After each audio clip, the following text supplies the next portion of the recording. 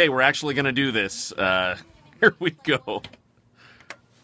KUZZ, good morning. Good morning. Who's this?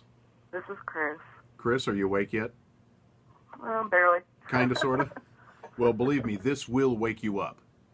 Okay. We will give you three shots at this because this is going to be kind of random. Right. Okay. I'm going to rub a body part against the microphone, and you have to guess which part of my body I'm rubbing against the microphone. And we're videoing this. So, Oh my god. okay, are you ready? You awake now?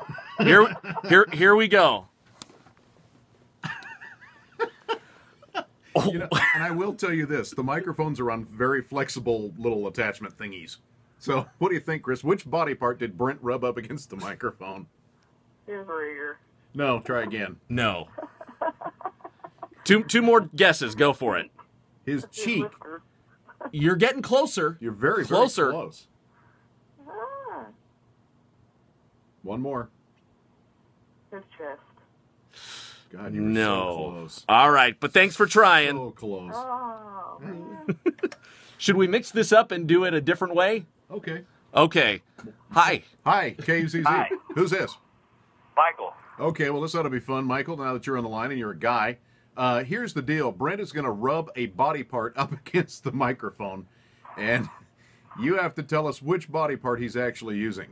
You are going to get three guesses, though, okay? Okay. All right, so here we go. what body part did I just rub against the microphone?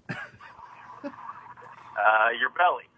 Ooh, no. No. Guess again. Go a little farther north.